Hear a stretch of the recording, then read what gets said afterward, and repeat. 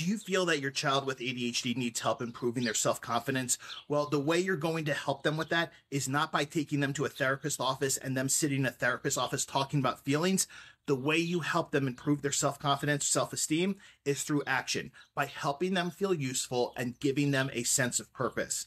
In so many families of kids with ADHD, I see what I call high giving, low expectations, where nothing is expected of the kid and they don't feel useful at home and that doesn't help them feel good. When kids with ADHD have jobs, even if they don't like the jobs, when they can volunteer somewhere, that helps them feel useful and it makes them feel good. So if you want to help build your child's self-esteem, have expectations of them at home, have them do jobs contributing to helping out at home, preferably jobs that, you know, they might be a little more motivated for, like, you know, feeding pets or those kind of things.